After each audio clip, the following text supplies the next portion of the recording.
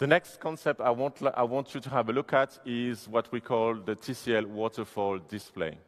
So with this concept, we have wrapped a smartphone into 120 degrees of display coverage, which can make it a much more uh, immersive experience. And you can ima imagine this type of form factor from, you know, from both sides of, uh, uh, of the device, but also from top to bottom.